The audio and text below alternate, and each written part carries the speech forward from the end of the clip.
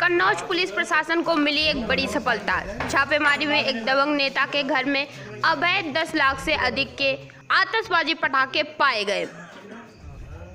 एक घर में से पटाखे मिलने से कस्बे के लोग दहशत में। कुछ लोग पंद्रह लाख से अधिक पटाखे की कीमत बता रहे हैं। अवैध आतिशबाजी का मालिक मौके देखकर हुआ फरार। एसडीएम और पुलिस ने पत्रकारों से कुछ भी बताने से किया इनकार। पुलिस अपने साथ आतिशबाजी पटाखे कोतवाली ले गई, लेकिन अभी भी नहीं हो सकी उसकी लिखा पड़ी एसएसपी के पहुँचने के बाद भी नहीं हुई कोई कार्रवाई। मामला कोतवाली छिबरामऊ कस्बे के मोहल्ला दीक्षितान का है।